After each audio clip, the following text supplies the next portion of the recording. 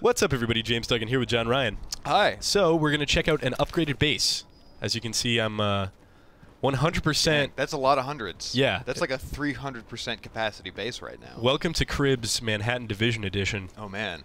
Uh, so here a, it is. Do you have a playroom with like uh, pool table and foosball and stuff? You know what? We kind of we have a lot of Christmas trees. It's eternally Christmas in the division. I mean, that's wonderful. That's delightful. So basically, when you upgrade all three of your wings, you get various perks, uh, talents, and skills.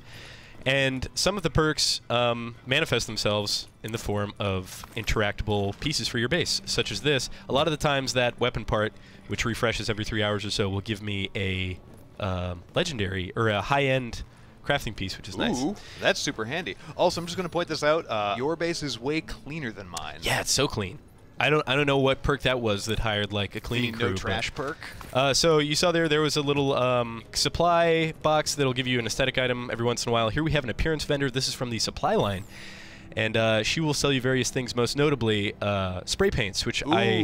But she only sells a few, and um, you have to check back every so often. But I have purchased most of them. Now we get into the important stuff. This uh, particular vendor, the advanced weaponry vendor from the Armory, um, is very good. And in fact, I purchased my main weapon from here, which is this uh, RPK light machine gun. Um, excellent use of your credits because this is a named high end, so it's guaranteed to have these certain roles. Um, and a couple of buddies have been crafting high ends and have not get, gotten anywhere near the awesomeness that is this particular gun. Yeah, also, it's it's just gold. looking too. Yeah. Uh, what are the what are the buffs on that?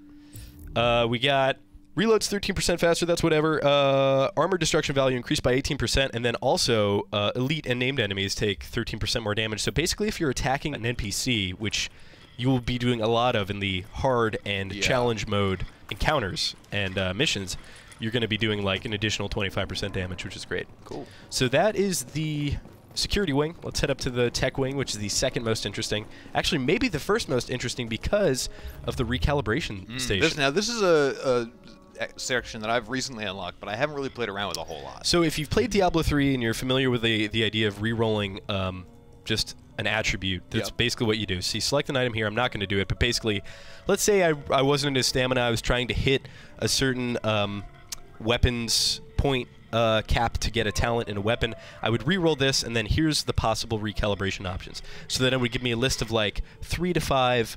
Hey, you can have 430 electronics. You could have this firearm roll, and then if you're not happy with that, you can re-roll it again. But it gets exponentially more expensive when you do it on the same item. Cool. So it's really worth it for gear that you just picked up, and you kind of need to have a certain attribute Try on again, it. yeah. But um, it actually takes uh, what are those things called? Phoenix credits to re-roll high-end gear. Ooh. So there's definitely a, a sink there in terms of gear.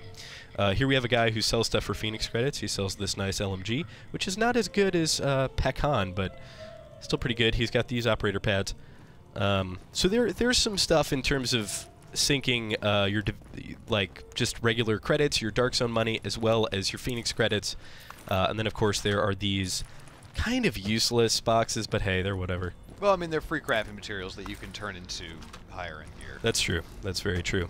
Uh, all right, let's check out the medical wing. And also, like, all of these rooms open up. It's a really interesting uh, and rewarding progression system that doesn't just reward you mechanically as well as, like, gear-wise, but it kind of rewards you uh, thematically.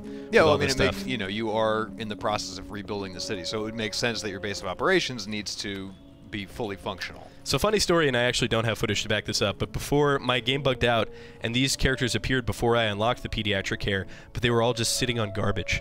There was just garbage all over here, and the doctor was like writing on a box. I don't know if that was I mean, they were just getting ready. getting ready to be taken care of. A very long waiting room here at my base. Those children know nothing but garbage. That's true. Now that the, now Oh. that the, uh, the virus had That's that's so depressing to know. To Well, they'll never remember life as it That's, was. that's their life now. Is garbage. Exactly. So there's uh there's also a fabric thing here. The medical wing doesn't really have anything super cool. Like you have the recalibration station and the Um, vendors. but and it the is other worth noting that you do upgrade your uh, contamination protection.